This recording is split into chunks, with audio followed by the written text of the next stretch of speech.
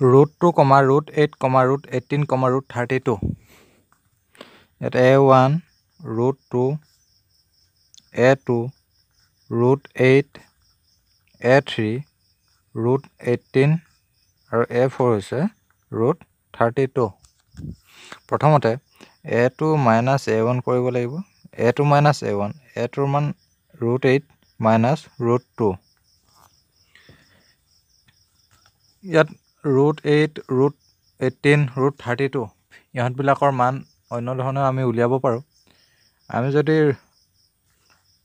আঠৰ বৰ্গমূল উলিয়াবলৈ যাওঁ তেতিয়া আমি পাম টু ইণ্টু দুই চেগুণ আঠ দুই দুগুণ চাৰি।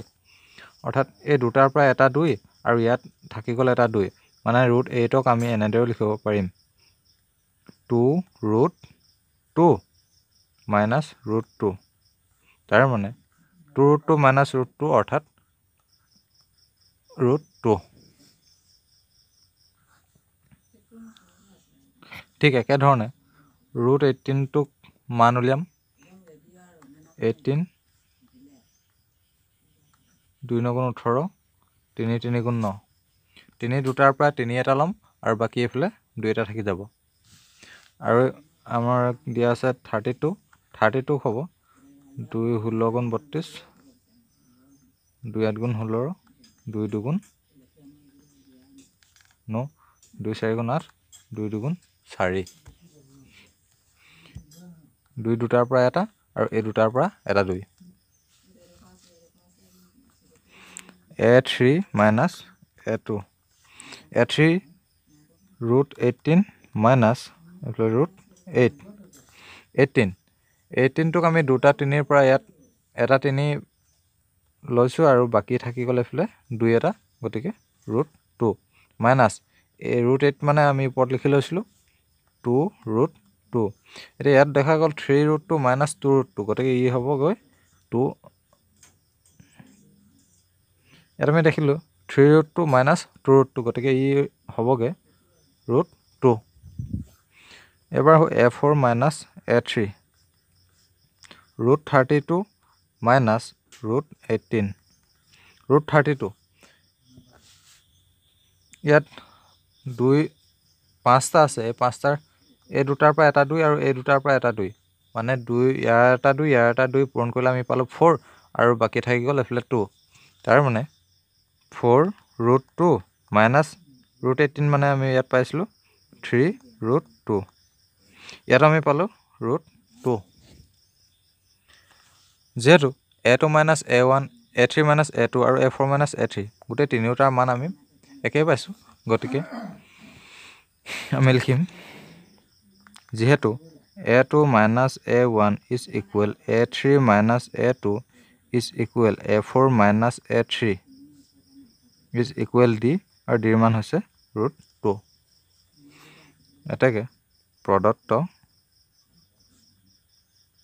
সংখ্যাবোৰ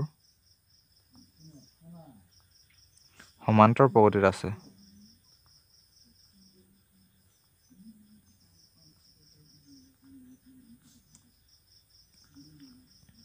সমান্তৰ প্ৰগতিত আছে ইয়াৰ পিছৰ পদবিলাক হ'ব। এ ফাইভ এ ফাইভৰ মান a four plus d a ফ'ৰৰ মান আছে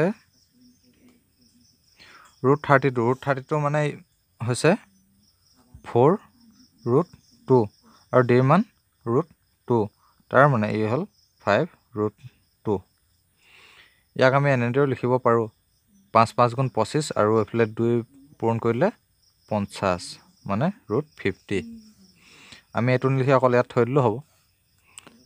A six a five plus d a ফাইভৰ মান five root two plus root two six root two a seven a six plus d six root two plus root two মানে seven root two ইহঁতবিলাকৰ আমি এনেদৰে আমি উলিয়াব পাৰোঁ উলিয়াওঁ ক'লে এইফালে ছয় ছয় গুণ হৈছে ছয়ত্ৰিছ। ছয়ত্ৰিছৰ লগত যদি আমি পুনৰ দুই এটা পূৰণ কৰি দিওঁ তেতিয়া আমি পাম seventy two root seventy two আৰু এইফালে সাত সাত গুণ ঊনপঞ্চাছ ঊনপঞ্চাছৰ লগত যদি আকৌ দুই এটা পূৰণ কৰি দিওঁ ই হ'বগৈ ninety eight root ninety eight. এতেকে এ পিটো এ পিটো হৈছেগৈ root two comma root eight comma root eighteen comma root thirty two comma root fifty comma root seventy two comma root ninety eight. আনহাতে এনেদৰে লিখিলেও হ'ব root two comma two root two comma three root two comma four root two comma five root two comma six root two comma seven root two.